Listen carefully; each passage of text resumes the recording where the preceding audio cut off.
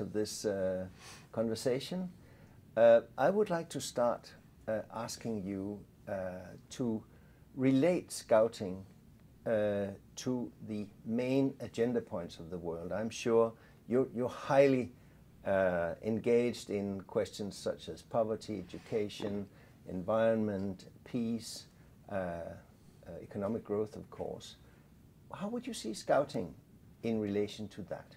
Well, I think what scouting does in preparing young people to engage with the world around them, uh, the community around them, those they will have to work with in the future, and engage with the challenges that they will be confronted with in our world, uh, whether it be challenge, social challenges of poverty, social challenges of the environment, uh, social challenges of economic performance in the future aspects from my, my recollections of my youth sporting experience. Whereas in the scouting experience, every participant in scouting is going to be given that opportunity to lead. In the, in the patrol structure, eventually every member of that patrol is going to be put in the position to lead in the troop structure. Lots of opportunities to lead. And it and while you will see different styles, just as in the world today, you see different leadership styles among business leaders. You will see very different styles, both successful, but very different. In athletics, there's kind of a set of attributes that are required if you're going to be successful, and if you don't possess those, you're not. But in business, we can develop our own leadership skills, our own leadership styles, with those values in accordance with what our what our talent is. And that's I think very much what happens again as I watch young people today in the scouting movement and think about my own experiences is a lot of this is we're discovering who we are, we're discovering what what is good, what works for us, how to be successful with our skills. And every young person gets that as they progress in scouting. And that I think is is what's very different than in an athletic, you know, centered activity because you're limited by your physical attributes. In scouting, you're not limited by your physical attributes. You're really learning how to take your mental attributes and shape them to be as successful as you can be. The uh, Exxon Mobil is a a, and you personally, you, you are great supporters of scouting. Mm-hmm. Uh, what sort of advice would you give to business colleagues in the rest of the world uh, for what they ought to do in, in order to support scouting and to develop the next generation of mm-hmm. leaders, which would benefit their business and community as a whole? What, what should they be doing? Well, business leaders and their, you know, and their business entities, I think, can do a couple of, there's a couple of things that they should think about doing with respect to scouting in their local communities in their country. Uh, and there's two ways to engage. One is with your your time and your intellectual talent uh, to volunteer, and that's what I have done personally over many years, and that's what many of our employees at ExxonMobil are engaged at the local level, uh, either because they have their own children involved in the program, but many are engaged because they want to bring their skills to this organization as well by teaching young people. The second level is with your financial resources. Like anything, it takes money to run and maintain and deliver a quality program to young people. Uh, someone has to develop the program materials. Someone has to provide the facilities uh, for the activities particularly the outdoor experiences. Uh, someone has to maintain the architecture and maintain the integrity around the program delivery itself. So I encourage business leaders and their businesses to engage at both levels because I think the, the direct engagement of your time and your talent is just as important as the delivery of your financial support as well. I also think what I have found, and everyone I engage with who does both has found, I get as much out of that engagement of my time and talent uh, as I as I give, more so probably, and it really reinforces then the confidence with the financial support because I know what my financial support is going to deliver, and so I can be very confident. This is a good spend of my dollars. It's a good spend of the company's dollars because I see what's going to be delivered. So I, I would encourage business leaders, if they've not had any engagement with scouting, I would encourage them to get in touch with the local organization. And if nothing else, sit down with them and spend a little time, learn something about it. I think you will find it well worth the effort and the time to understand what is going on with scouting in your local community. And then it will give you also a better understanding of the impact your financial contributions are going to have. And it'll give you the confidence that this is a good spend of, of our resources. Uh, I, I once did a, an investment case for scouting, and I realized that uh, that actually the reason why scouting uh, is, is, really a good investment for an individual, for a corporation, is the fact that it has a 50 year or more mm-hmm. impact. So it's a long term investment. And second, it's about young people developing them into leaders which will spread it to others. And third, that it is it's a 90 some percent voluntary, probably 99 on a worldwide scale, so that you get bang for your buck. Well, uh, how would you look upon the investment case? Uh, is, is it a good investment uh, to go for scouting? Well, I think in terms of the, the financial resources that one puts behind the scouting movement, uh, some of this is going to go toward physical infrastructure, which will serve generations of young people for years to come. Uh, and a lot of the donors that I engage with, that's what I'm talking to them about is, again, providing the physical infrastructure that is going to serve thousands and thousands of young people for many, many years to come. So there is a, a tremendous return on that. But the real product that we're all putting our money into is the is the kids. And what kind of young adults are we going to produce from the program? And clearly that that has a very long return to it as well. And hopefully supports them as they become adults to want to stay engaged as well.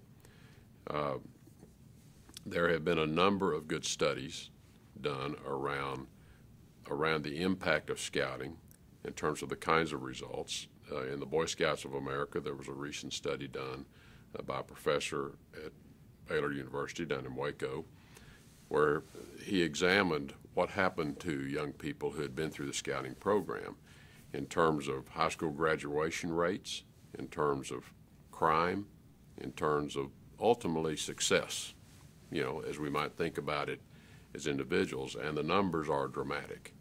And I would recommend anyone go to that study, uh, look at the results of that study, because it's quite dramatic the impact of on young people who have been in scouting and young people who have not been in scouting on their likelihood of success later. Uh, and in particular, even their success in school. Because there's no question these, these values and again, this ability this interacting with their peers carries over then into their academic environment where they're much more successful academically as well. So there is a huge return, I think, on any investment that, that one would make in the scouting movement in terms of what you're going to receive back in your local community, but also longer term with the kinds of young people that will be entering the workforce in the future. Yeah. Think of uh, Amnesty International. Mm. Their cause is the protection of human rights. Think of the Red Cross, Red Crescent. Their cause is to help people avoid suffer from war or mm. uh, disasters, whatever it is. How would you phrase the cause of scouting? Well, we kind of returned to almost where we started the conversation, and I think the cause of scouting really is embodied in the oath and the law, and so much of it is around fulfilling our duty. In the Boy Scouts of America oath, it's our duty to God and country, it's our duty to others, and finally, it's our duty to ourselves. And I think the, the role and the mission of scouting, as I grew up with it and as the organization I work with, is to ensure that young people, as they grow and mature, understand that there are three pillars that they take through life with them. And they have a duty to their God as they would define that, a duty to their country, they have a duty to others, and that the third and the last is their duty to their self. But they do have a duty to themselves, and that duty is to continue to improve yourself, continue to maintain your personal integrity, and continue to be a person who can be a role model for others. You have that responsibility to yourself. Take care of yourself physically, take care of yourself mentally and morally so that you can fulfill your responsibility, the other two pillars. I think that is the real mission and role of scouting is to produce adults who enter our society with that kind of a value system. Thank you very much. One additional question. Okay. The, the impact of producing adults with that value system, in what fashion does that make the world a better place to be? Many of the challenges that we face today arise out of conflict, conflict which our society has difficulty resolving. There's no doubt in my mind that it, to the extent we have leaders who are better able to understand perspectives and points of views of others, to enter that conflict with that servant perspective, and have, have a capability to work through those differences towards a solution that all can get behind, that we're going to solve most of the daunting challenges that face us today.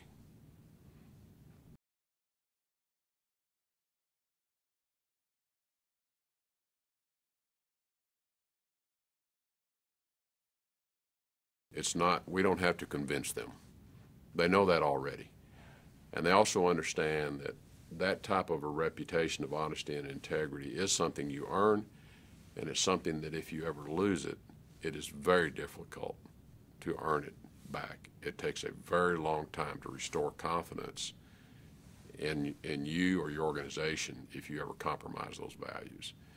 So I think there's no question having people coming into our organization that bring that value system with them is extraordinarily helpful in how we reinforce that around the world and is extraordinarily helpful in their leadership around this issue as well because it takes everyone setting an example to each other, not just our own conduct, but setting that example for all those around us that this is the way we conduct ourselves.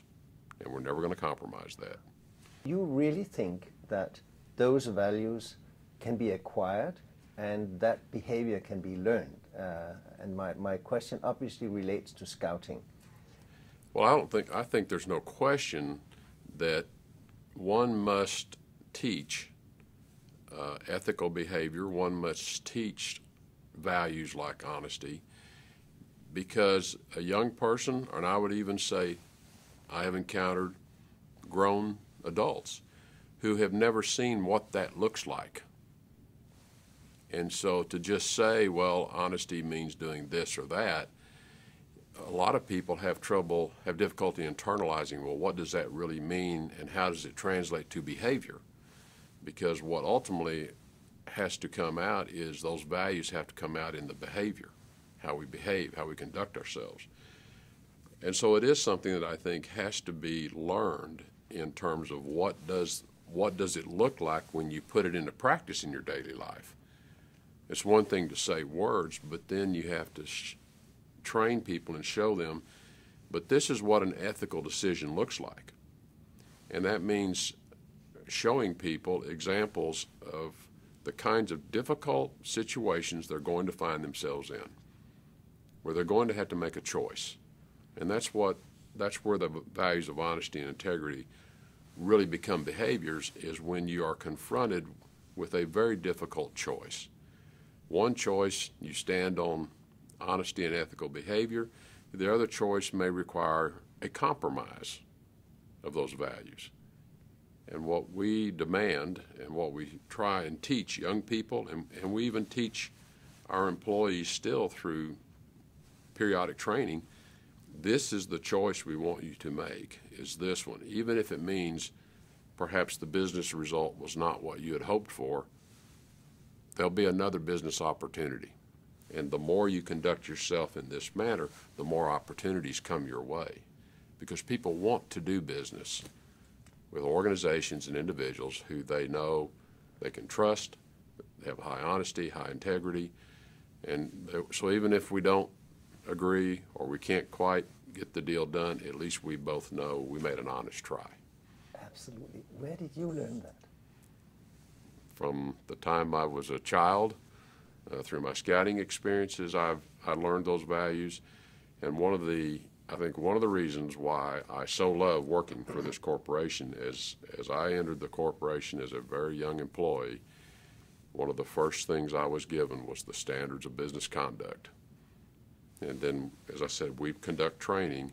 Periodically, all employees are required to go through training to remind us why this is important and remind us this is what the behavior looks like and to reinforce we never, we're never going to ask you, nor do we want you to make this choice that requires you to compromise these values. We, we're never going to criticize you for that. We're never going to you know, view your performance negatively because you chose the ethical answer. And even if we lost some business, this is the answer we want.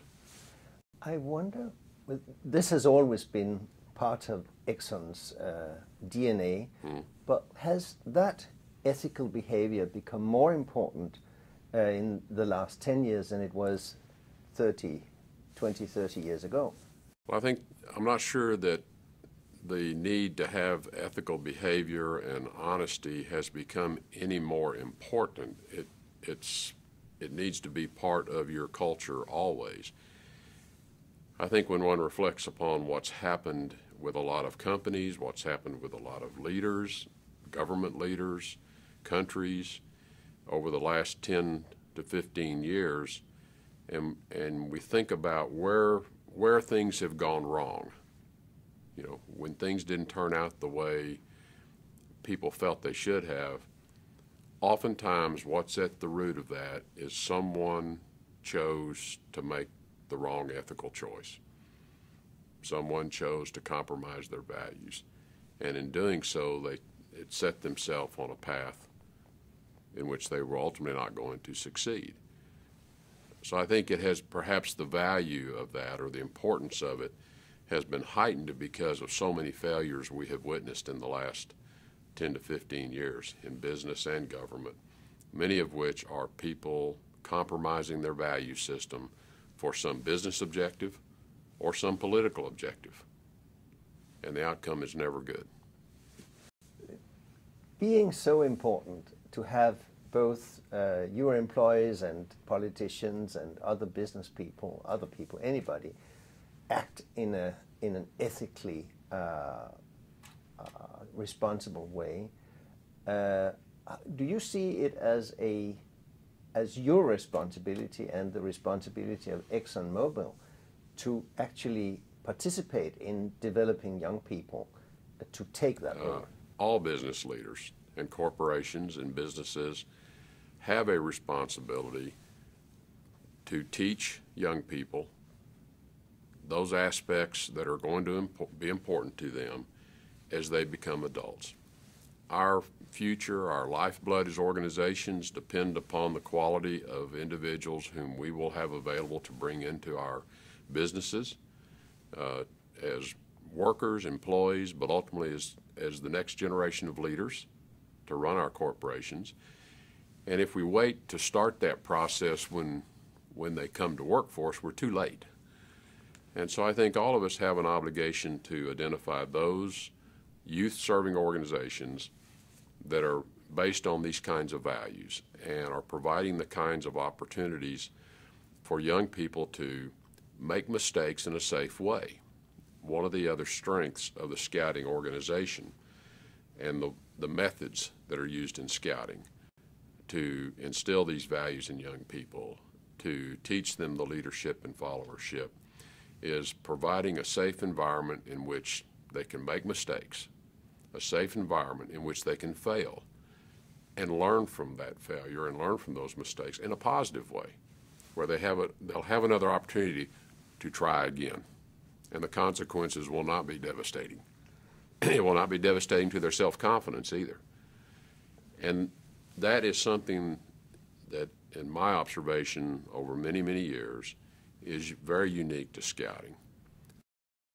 There are a lot of youth organizations where these lessons might be learned, but because of the, the way in which they are learned or the way in, in which they are delivered, oftentimes that mistake or that failure becomes a setback to the young person, their self confidence, their self esteem, and they never pursue it again. In scouting, those mistakes and setbacks are learned experiences because of the leadership in the organization, but also because of the values that the young people adopt. They help each other.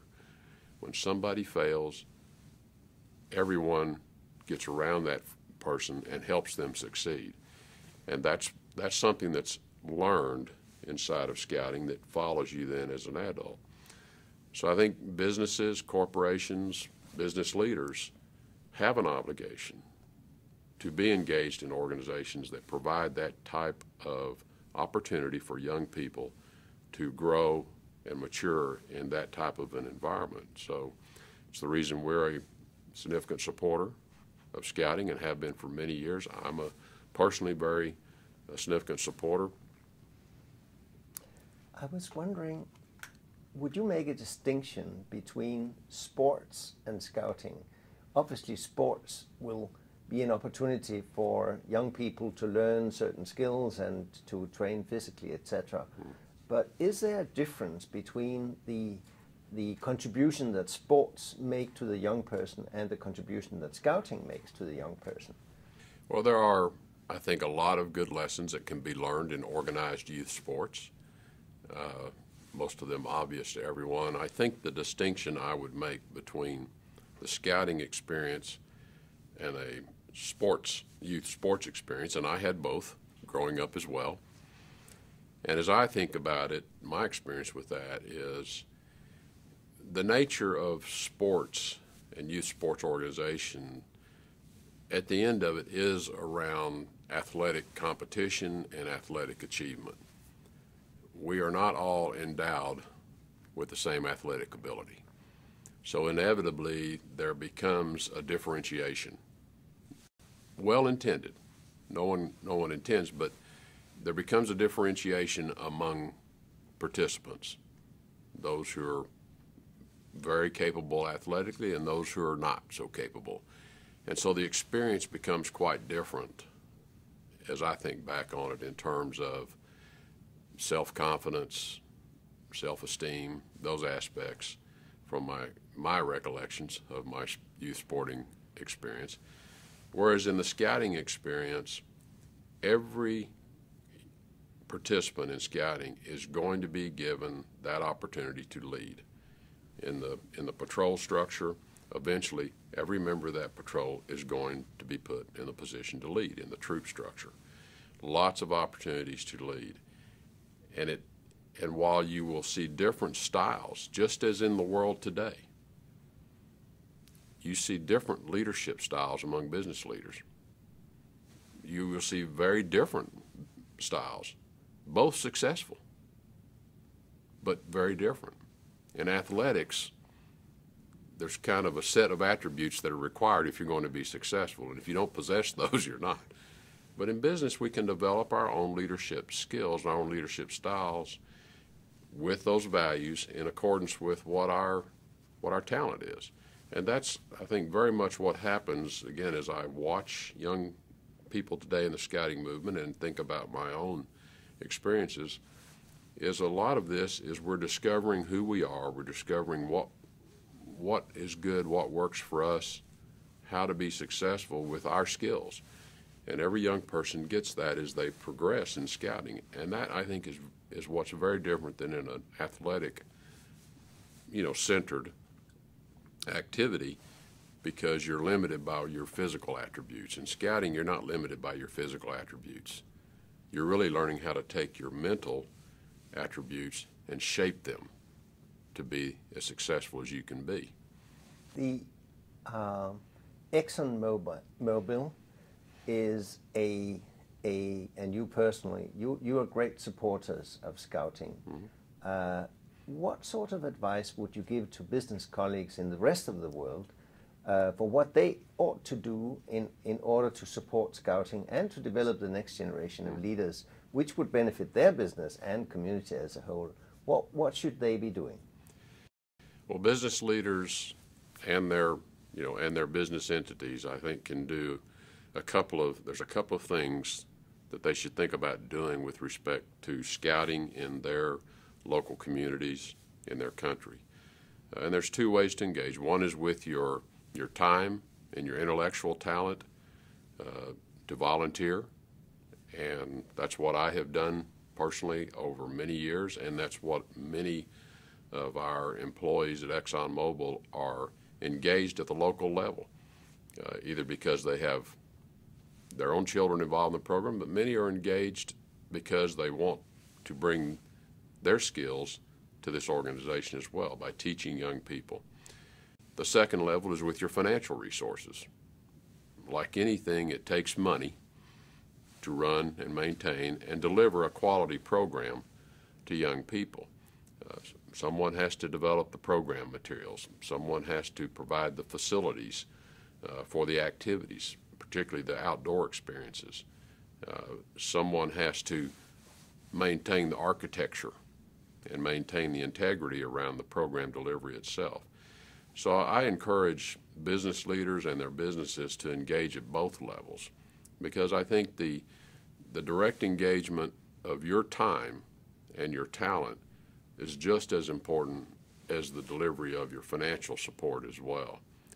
I also think what I have found, and everyone I engage with who does both has found, I get as much out of that engagement of my time and talent uh, as I as I give, more so probably, and it really reinforces then the confidence with the financial support because I know what my financial support is going to deliver, and so I can be very confident.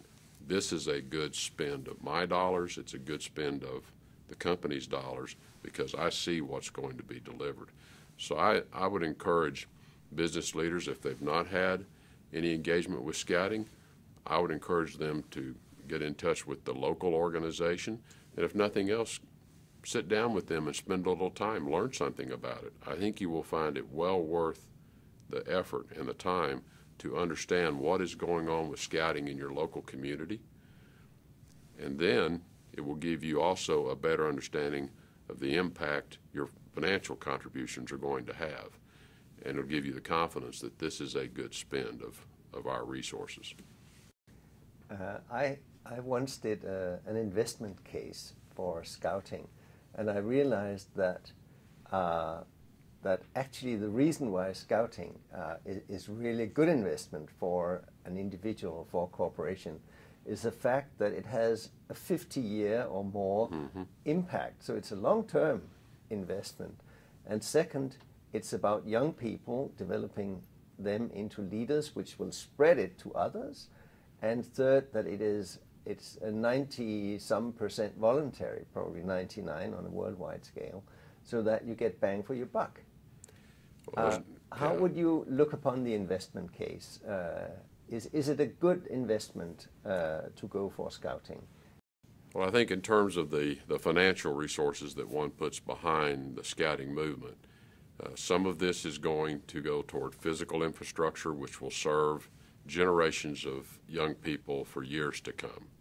Uh, and a lot of the donors that I engage with, that's what I'm talking to them about is, again, providing the physical infrastructure that is going to serve thousands and thousands of young people for many, many years to come. So there is a, a tremendous return on that. But the real product that we're all putting our money into is the is the kids, and what kind of young adults are we going to produce from the program? And clearly, that that has a very long return to it as well, and hopefully supports them as they become adults to want to stay engaged as well. Uh, there have been a number of good studies done around around the impact of scouting in terms of the kinds of results. Uh, in the Boy Scouts of America, there was a recent study done uh, by a professor at Baylor University down in Waco where he examined what happened to young people who had been through the scouting program in terms of high school graduation rates, in terms of crime, in terms of ultimately success, you know, as we might think about it as individuals. And the numbers are dramatic. And I would recommend anyone go to that study, uh, look at the results of that study, because it's quite dramatic the impact of on young people who have been in scouting and young people who have not been in scouting on their likelihood of success later. Uh, and in particular, even their success in school. Because there's no question these, these values and again, this ability, of this interacting with their peers carries over then into their academic environment where they're much more successful academically as well. So there is a huge return, I think, on any investment that, that one would make in the scouting movement in terms of what you're going to receive back in your local community, but also longer term with the kinds of young people that will be entering the workforce in the future. Yeah. Think of uh, Amnesty International. Hmm. Their cause is the protection of human rights. Think of the Red Cross, Red Crescent. Their cause is to help people avoid suffer from war or mm. uh, disasters, whatever it is, how would you phrase the cause of scouting? Well, we kind of returned to almost where we started the conversation, and I think the cause of scouting really is embodied in the oath and the law, and so much of it is around fulfilling our duty. In the Boy Scouts of America oath, it's our duty to God and country, it's our duty to others, and finally, it's our duty to ourselves. And I think the, the role and the mission of scouting, as I grew up with it and as the organization I work with, is to ensure that young people, as they grow and mature, understand that there are three pillars that they take through life with them. And they have a duty to their God as they would define that, a duty to their country, they have a duty to others, and that the third and the last is their duty to their self. But they do have a duty to themselves, and that duty is to continue to improve yourself, continue to maintain your personal integrity, and continue to be a person who can be a role model for others. You have that responsibility to yourself. Take care of yourself physically, take care of yourself mentally and morally so that you can fulfill your responsibility, to the other two pillars. I think that is the real mission and role of scouting is to produce adults who enter our society with that kind of a value system. Thank you very much. One additional question. Okay. The, the impact of producing adults with that value system, in what fashion does that make the world a better place to be? Many of the challenges that we face today arise out of conflict, conflict which our society has difficulty resolving. There's no doubt in my mind that it, to the extent we have leaders who are better able to understand perspectives and points of views of others, to enter that conflict with that servant perspective, and have, have a capability to work through those differences towards a solution that all can get behind, that we're going to solve most of the daunting challenges that face us today.